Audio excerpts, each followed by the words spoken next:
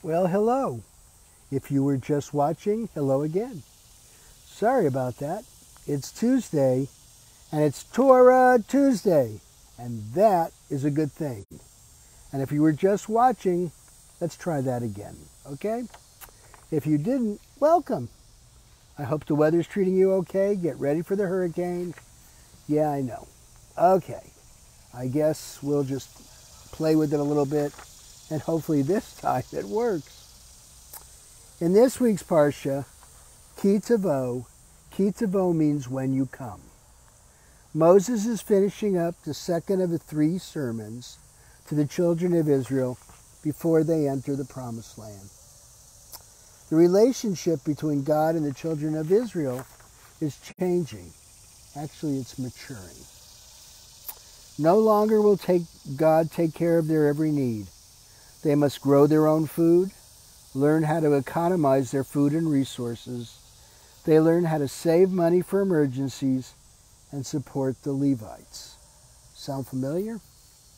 The relationship between God and the children of Israel is becoming more like a partnership. No, more like a marriage. Each side brings something to marriage. The groom brings unique skills and values, as does the bride. Each promises to take care of each other in good times and bad. In our marriage ceremony, we signify this relationship with a ring. The ring has no beginning it has no end. And the ketubah, or marriage agreement, which expresses what each side brings to the relationship. God gives us life, nurtures, brings understanding, compassion, and support. God gives us the mitzvot. God is the bride. We bring the support and follow the mitzvot. What are we? We're the groom. Together we make a marriage. In order for any marriage to be successful, we have to bring more than we take to the relationship. We can't depend on our partner to do everything. Thus, we can't depend on or expect God to do everything for us. Like the children of Israel, we are no longer in a parent-child relationship with God.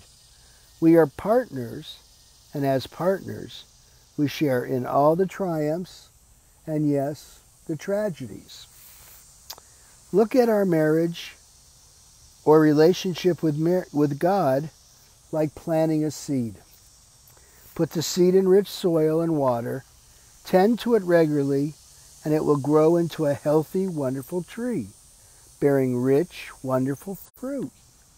Neglect the seed, and like love, it will most certainly die. Okay? So that's what our relationship is becoming. So in today's world, we of course have to use the example of marriage. Okay? We can't accept, we can't accept, we can't expect God to do everything for us. So when something bad happens, for example, a hurricane, we can't look at the sky and say, why did you do that? Right? What happened to the concept of free will? What happened to repair the world, tikkun olam? Okay? What happens? Well, I'll tell you what happens. Okay? We can't expect God to do everything. Does God sit there with thunderbolts and lightning bolts and make it thunder? Of course not. It's weather. Weather is a set in, we know, we believe in science. Weather has its reasons. God set the world in motion and he lets it play out. Okay? That's what's going on. We're not being punished. God is punishing us for something. No, no, no, no, no. That's all BS rhetoric. That's all medieval thinking. That's all pre-biblical thinking. Okay? We're not getting punished because it rains. We did something wrong, so there's a hurricane. No. That's just BS. Okay?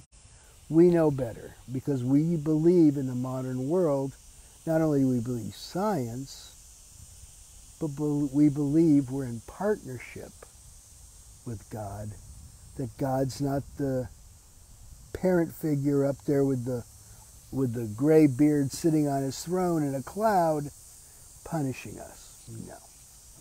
That doesn't happen. Okay?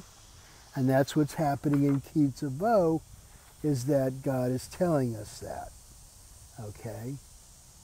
He's not going to feed us like manna in heaven and keep the light of the Ner Tamid constantly on so we can find our way. No. We have a brain. It's up to us to decide good, evil, which way we're going to go. That's what it means in the modern world. Okay? Sorry about the earlier technical. Yes, I know. It keeps people keep telling me about the technical issues. Well, thank you for watching. That means you're watching me. That's great. And thank you for telling me that on the side there, okay? I hope you all have a great week. I hope you have a great Shabbat. And I will see you here next Tuesday. Hopefully, technically sound, hopefully without any problems. Next Tuesday for Torah Tuesday. And that is always a good thing. Have a good week. Peace out.